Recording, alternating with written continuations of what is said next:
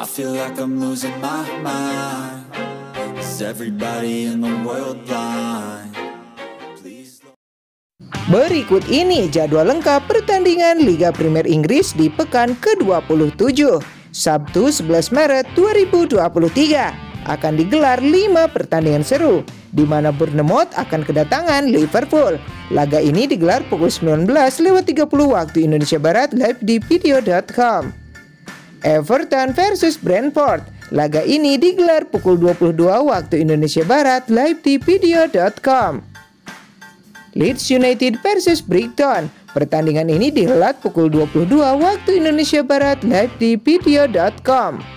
Sementara itu, Leicester City akan menjamu Chelsea pada pukul 22 waktu Indonesia Barat live di video.com. Tottenham akan menjamu Nottingham Forest. Laga ini digelar pukul 22 waktu Indonesia Barat live di video.com.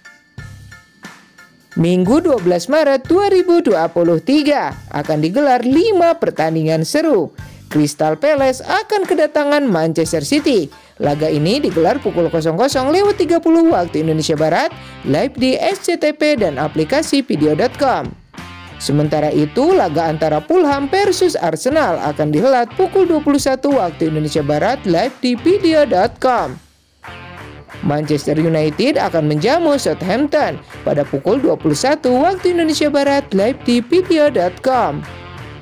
West Ham United akan menjamu Aston Villa pada pukul 21 waktu Indonesia Barat live di video.com. Sementara itu, Newcastle United akan menjamu Wolves. Laga ini akan kick off pukul 23 lewat 30 waktu Indonesia Barat live di SCTP dan aplikasi video.com. Berikut ini daftar klasmen sementara Liga Inggris memasuki pekan ke-27. Arsenal masih kokoh di puncak klasemen dengan koleksi 63 poin.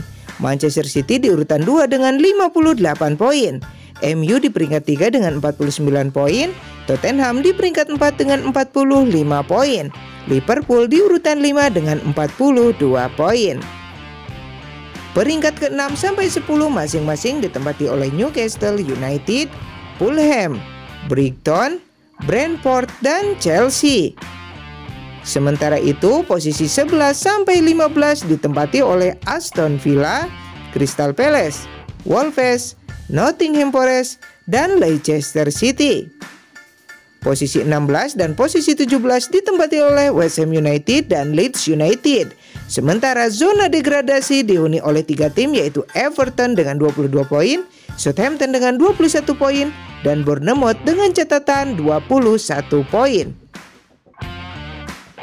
Berikut ini daftar top skor sementara Liga Premier Inggris memasuki pekan ke-27. Posisi pertama ditempati oleh striker Manchester City yaitu Erling Haaland yang telah mencetak 27 gol dan 5 assist sejauh ini.